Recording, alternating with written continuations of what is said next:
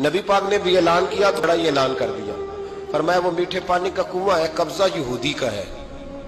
जो बंदा खरीद कर वक्फ करेगा ना, उसे क्या मिलेगा? तो हुजूर ने फरमाया, मेरी जेब में जन्नत की टिकट है। मैं उसे जन्नत दे देनी। ये है अर्ज़ जन्नत ये तैबा की जमी है। जन्नत भी यही, माल के जन्नत भी यही है। जन्नत ले ले मुझसे। ले ले। हज़रत उस्मान गनी गए, उसको कहा, भाई कुआ मेरे हाथ बेच दे, कुएँ की कीमत थी पाँच सात सौ दिनार। तो हज़रत उस्मान, पाँच छह सौ दिनार कुल कुएँ की कीमत थी। जनाब उस्मान गनी गए, यहूदी को पता था कि ये खरीदना चाहते हैं। फरमाया, यार, ये कुआँ बेच दो। कहने लगा, नहीं बेचना। फरमाया, कीमत मुँह मांगी। कहने लगा, कीमत मेरी मर्ज़ी की? कहा तुम्हारी मर्ज़ी की। अपनी अपनी औकात होती है ना कीमत लगाने की। तुम्हारी मर्ज़ी की। कहने लगा, मेरी शर्त है, मैं एक दिन के लिए कुआँ दूँगा, एक दिन मैं, एक दिन आप। फरमाया, ये भी मंजूर है। कितने पैसे? उसने कहा, मैं तीन हज़ार दिनार लूँगा। पाँच, छह सौ का हज़रत उस्मान गनी फरमाने लगे, तूने अपनी औकात के मुताबिक तीन हज़ार मांगा है, मैं चालीस हज़ार लेके आया था। अपनी औकात के मुताबिक मांगा। चालीस हज़ार दिनार मेरी जेब में। यहूदी कहने लगा, उस्मान, तू ताजर है, और आम ताजर नहीं।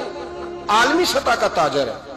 लोग तेरी तिजारत की मिसालें अरब में देते हैं, पर पाँच छह सौ का कुमार चालीस हज़ार।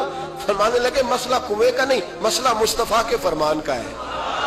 वो जो हुजूर का फरमान पूरा करना है ना, उसके लिए चालीस हज़ार थोड़े हैं। मेरे पास थे ही इतने जो लेके आया हूँ।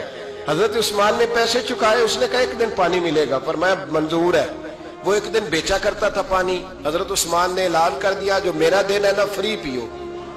अपने भी पियो बेगाने। पैसा भी हमेशा बांटने से मुल्ला रूमी रहमतुल्ला ने फरमाते कुएँ से सादा पानी निकल जाए तो ताज़ा आ जाता है।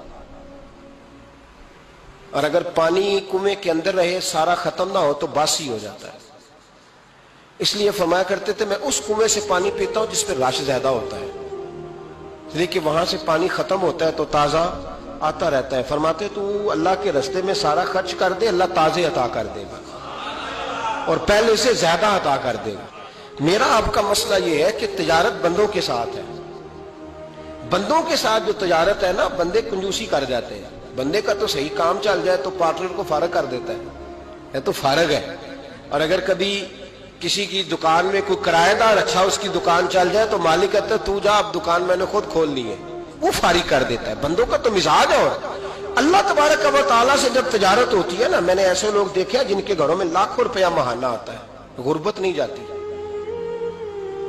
उनको सोचना चाहिए कि कसरत वाला पैसा आया है, पर बरकत वाला नहीं आया।